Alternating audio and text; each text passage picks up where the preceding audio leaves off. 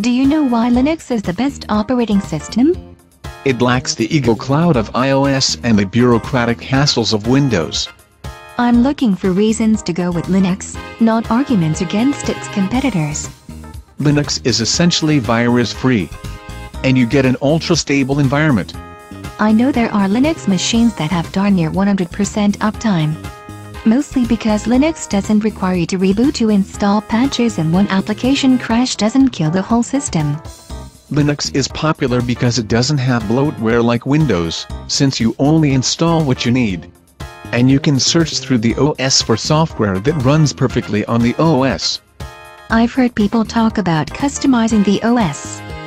You can pick a scientific or gaming or Windows-like package, and then you can tailor it as you'd like. Until I decide I need to change. You can upgrade Linux at the push of a button. And installing new software is almost as easy. And I get away from the standard tech support solution of Control-Alt-Delete. If you don't like the NSA putting back doors on everyone's servers, putting spyware on your PC and monitoring your chats. Linux doesn't have any back doors and neither does its software. Of course not. The hackers who use it won't allow that. Linux is not just used by hackers. In fact, you can even use Linux on old computers to keep them in use, since Linux uses a fraction of the memory and CPU of a Windows system.